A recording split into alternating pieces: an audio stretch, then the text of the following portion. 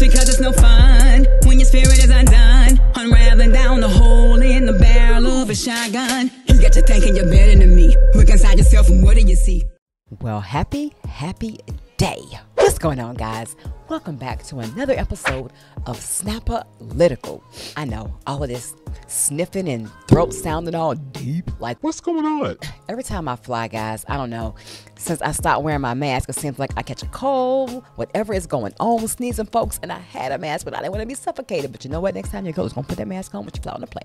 Okay, so what are we talking about today, guys? Can you believe that they are actually thinking about Trump being the House Speaker? I had to talk about this. We gotta chop this up. OMG. I mean, let's get into this video. Can you believe this? This is like, what? Let's bring in our next guest. He's just launched a bid to be the next Speaker of the House because the job opened up. I don't know if you heard. Uh, he's now in the exclusive interview with Congressman Jim Jordan. Congressman, great to see you. You were, you were on the fence the night of the ouster. What changed your mind to say, I, I want to be Speaker? You need someone who can unite the conference, and I think just as importantly, unite the conservative and Republican movement across this country. Uh, that's what I think I can do. That's why I'm running for the job. I like the job I had. Uh, chairman of the Judiciary Committee, chairman of the Select Committee on the Weaponization yeah, he of was Government, good. doing the work he there. Play. But I do think we I have to have him. someone who can bring like our team him. together. He's... I think I'm best equipped to do that. The eight people who voted in a way that I, I disagreed with, yep. we got to bring them into the fold. I think I'm best equipped to do that so that we can then go do the things we told the American people we would do for them. And the first thing I would focus on, the very first thing I would focus on is one sentence. No money can be used to process or release into this country any new migrants. You have to change the equation. You have to stop what's going on there in Texas and across our country. That is the first bill we should do. Attach that to a spending bill and get that done for the America. And everyone knows this is the central issue. Eric Adams, the mayor of New York, is in Latin America as we speak because this problem is so big. We need to address that. We need to get the Democrats on board to do what their constituents yes. want them to do Let's as well. Together. You shouldn't be penalized for the good job that you did on judiciary because people, Americans, the Republicans love to see what you're doing to go after the Biden family and get to the bottom of of what they have done with their taxes, if they've done anything wrong, if it was pay for play and all of that kind of thing. But if you do leave, if you become speaker and you have to leave judiciary, what will happen to that committee now? Will those investigations still continue? They sure will. We've, we, have we have been working with the Speaker's office all along. Many times you have to consult House counsel when you're doing all these depositions, all these subpoenas that get sent out. So we, we've had that already happen. If, in fact, I get the privilege of being the next Speaker of the House, we will continue to work with the team on judiciary and oversight and ways and means as we do our investigative work, as we do our constitutional duty of oversight of the executive branch. That will continue. In fact, I was in a deposition. I was in a deposition two days ago with the U.S. Attorney from the District of Columbia, Matthew Graves, who declined to partner with David Weiss. I was in that deposition when all this was happening here uh, in the House. So, yes, that, that has to continue because that's our job. Uh, you know, Mr. Jordan, that uh, moderates have said, they've been very vocal, they will not vote for anybody unless they change that rule on one vote can get somebody uh, vacated from the seat, which is essentially how the uh, Capitol coup happened the other day. So moderates want to change the rules, but for conservatives, that is a deal breaker. So, and there is, I was reading this morning in Axios, I believe, there is uh, expectations are at rock bottom that the civil war between the many factions of the Republican Party can be fixed by next week. Well, we have to fix it. And I said this on the House floor on January 3rd when I nominated Speaker McCarthy. I said it a couple days ago. Any differences that exist in the Republican Party pale pale in comparison to the differences between us and the radical left, which now unfortunately controls the Democrat Party. Hmm. We had better stick together. We had better come together to fight for the things that make our country the greatest nation ever and the things the American people elected us to do. Amen. Again, I think I, I can do that if that if the conference wants that rule changed. I'm not if I'm speaker, I'm not going to go to Democrats to get that done. No, no way. We will have to decide as 222 Republicans, are we going to change that? That's the only way it gets done Let's if go. that's what the conference wants. Okay. So that's something that has to, again, you have to bring the team together. That's together. what we have to focus on so that we can help the American people and do what we said we were going to do. Y'all, this is great. I really like him. I have been watching the you know the whole time what's been going on with Biden and how, how they have been bringing things to the floor. And as during the trials and you know the hearings in Congress, he came with it. I mean, I so I was like, okay, so you think he gonna be the House Speaker? Let's go, let's go. Or they got Trump up here. Though. I'm trying to hear what that's about. Congressman, I'm here with the folks from the great state of Texas. They want to know if you guys are going to start fighting for them.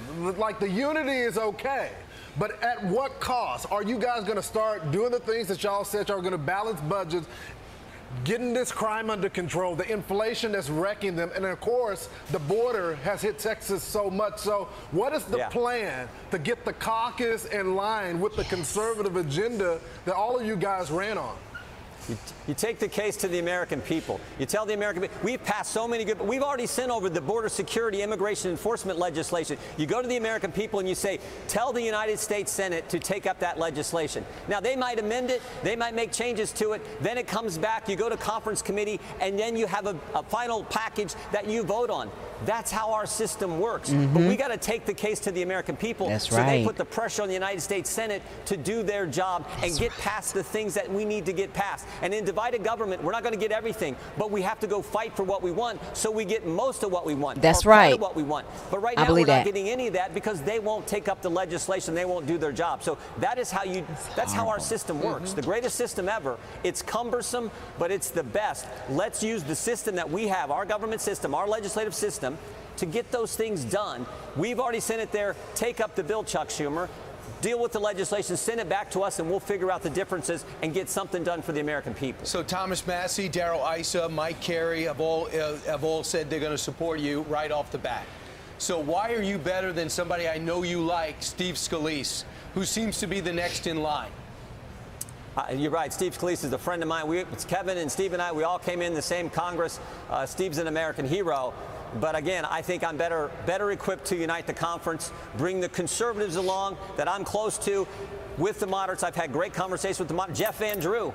Jeff Van Drew is supporting me. Jeff Van Drew was a Democrat five years ago, switched parties, now a great member of our conference. He's supporting me. I think we can do that. That's what we have to do so that we can get to the real goal, which is those things we told the American people we were going to do for them. Y'all, so I really like him explaining the process of really how it works. And we know we have three branches of government judiciary, legislative, and then executive, right? So I do know and I remember that the legislative branch, they're the ones that write the laws. So I'm now I'm clear that they all, I mean, it's like it's like tic tac toe. They all work together. It's all connected. I mean, you can't have one without the other. So working together in, within your own party as well as trying to get the other party to agree. So he just said that they're putting it out there. We once they get it out there, then we vote on it. Okay, come on, let's go. But just the way the process, the way the process goes in our country is still like the most advantageous and the most constitutional. But it's it's for the people. The way that we do things in our government has been for the people, not just for one particular person. So I love how he explained this and he's showing us that we can still have faith in our in our government. We have to keep the right people in place and allow them to do what they do and allow us, the people, to do what we do. Let's talk. Let's get out here and write the letters, call, get on these um broadcasts, go to the White House, talk to these people, talk to your um legislative, executive and judiciary uh, government, Congress, Senate. Talk to them and let them know how you feel you know, schedule an appointment, email, so many ways, but we have to use our voices in a way that they know so we can continue to reach out to them because they want to help us, y'all. They want to help us. And we have to have we have to look to the to the most we have to have an optimistic mindset. We can't just be doomsday. You know, and you you guys know that ain't me. It's all about still trusting and having faith in God and knowing that he is still over but he also has his people in place that's going to look out for us, y'all. Come on. You know, we've, we've watched Joe Biden. He came out of Afghanistan and, and thought, told, told everyone that was a success. Then with the border, he says it's not a crisis. It's, it's secure. The border's not open. And now they're saying we have to build a wall. They ran on never building a wall. We will not build a wall. And this morning, you have his team, Mayorkas, yep. is saying there's an acute and immediate need to construct physical barriers and roads to prevent unlawful entries. Ya think? Why change Ya this think? tune now? Because Democrats are telling, because the problem is so severe, exactly. the problem is so serious, they're now doing the right thing. They're now doing what President Trump said we should have been doing all along, what we were doing. Hello. So that, that's how bad this situation Seven is. And again, if million we can pass people the later. that I think fundamentally changes the equation. Let's when go. We say you cannot use American tax dollars to allow any more migrants to come and you stop the problem. And then you deal with what's happened already. That's how you. That's how you fix things. And so that's what we need to do. Well, let's talk a little bit about aid for Ukraine because there are a number of conservatives who say in your conference that they will sink any candidate for speaker who does support aid for Ukraine. So where are you on He that? said, sink. I've been clear all along. Why should we be sending American tax dollars to Ukraine when we don't even know what the goal is? No one can tell me what the objective is. Is it, is it some kind of negotiated peace? Is it driving them out of the eastern Ukraine? Is it driving them out of Crimea, which they've had for 10 years now, or they took during the Obama administration?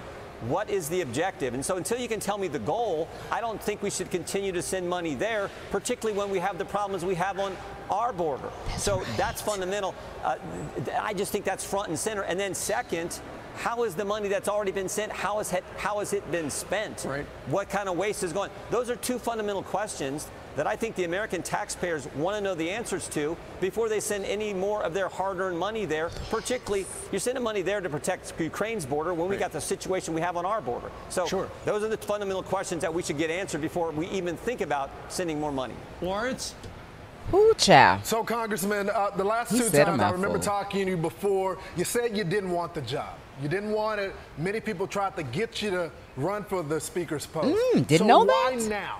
Wh- Why is it the moment for Jim Jordan to lead the conference? Hindsight, Somebody brother. has to bring our team together. Because if we don't come together, we're not going to get done what the American people know needs to be done, what's good for our nation. Somebody has to do it. I think I'm equipped to do it. That's why I'm running. I think I'm equipped to go take the message to the American people about why what we're doing is so darn important. It's, it's really, those are the two fundamental questions. Who can unite the team and who can go take our message to the people? That's, that's what this election's about. And I hope my colleagues will support me. And that's what, that's what I'm asking and talking to them with all day long. So much so I'm already starting to lose my voice. Did not know that they wanted him before, and he was like, um, no thanks. But you know, a lot of times people, when we make decisions in the beginning, our minds can change. You know, things happen, instances, experiences, circumstances, situations, and you have hindsight. You have hindsight, and the light bulb goes off. You have a light bulb moment, come to Jesus moment. It's like, wait a minute, I can do this. I want to do this. They need me in this role. I'll be absolutely great. So why not now? I love it. A little bit more, and we're gonna wrap this thing on up. So, uh, Congressman, let me ask you a scenario. You're trying to get these appropriate. You become Speaker next week. The appropriations bills aren't done. The deadline is here. Do you do a deal to keep the government open for an additional CR? Or do you do a deal with Democrats? Or do you let the government shut down? I think the first thing you do is you pass the bipartisan bill that's in the Senate. We take that bill up here in the House and we pass it. It's the No Shutdown Act. Senator Lankford, Senator Hassan have that have that bill. It's it's good legislation. I like what Senator Lankford said about it. He said, "Look, this is like if you don't get your work done in school, you stay after class and get it done." That bill says if we get to the end of the fiscal year, we haven't done the appropriations bills, the government stays funded. But we stay here round the clock until we do our job. That would Yes. take this whole shutdown politics, shutdown scenario, shutdown stuff off the table. You do that, and then you focus on the legislation. And if, frankly, if we need some kind of continuing resolution or some stopgap measure, I think it should go all the way into next year. I told my colleagues this because it, the way the debt ceiling deal was done, if you do a spending bill into the next year, there's an automatic cut that kicks in. And that's an incentive for us to get our work done and focus on the mm. policies we want on the 12 appropriation bills. That's the strategy, the, in my mind, the only strategy that makes sense. And that, that funding bill that goes into next year, everyone's voted for that. The Senate, two thirds of the Senate voted for that, two thirds of the House voted for that. Joe Biden signed it. So that's something everyone supported. If we do that and have that 1% cut hanging over everyone's head, I think that's the incentive to get the, get our work done, get our job done, and let the system work the way it's supposed to. Just Okay, guys, I'm gonna stop it right here. I love that. So he's saying, get it done by any means necessary. Period. Period, and period. I love it. Guys, this was really, really good news. I really love the fact that he wants to get it done. Order Uber Eats, whatever you bring your sack lunch. Get the vending machine game going, whatever you need to do so we can get this done to serve our people. I love that, guys. Let's get in this comment section. What do you think about him actually being Speaker of the House? And then I saw where they were talking about Trump as well. So, how do you like that? I mean, come on. I appreciate you guys hanging out with me. Let's dive into this. I actually think he'd be a great speaker. If you have somebody else in mind, please put it in the comment sections. I'll see you on the next video, guys. And don't forget to share it and turn on the bell. See you soon.